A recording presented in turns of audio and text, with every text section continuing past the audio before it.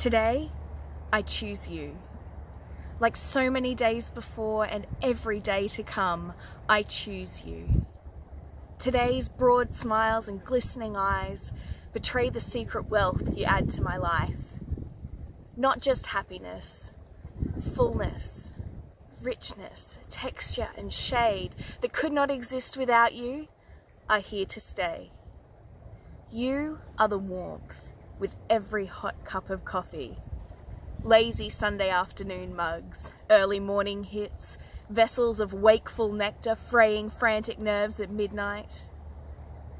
You are growth, change and strain, a murky future, but a reassuring hand to hold in the mist.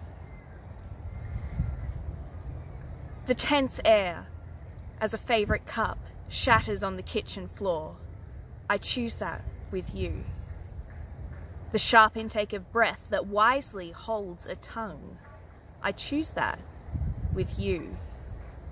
The heavy sigh that precedes, I'm sorry, and I forgive you. The desperate gasps, begging laughter for mercy. I choose that with you. Today, see my grin as I choose to dive in through life's thick and thin, in silence and din. This day wherein we become kin, let's begin. You are my family, the one that I choose. Today and forever, I choose you.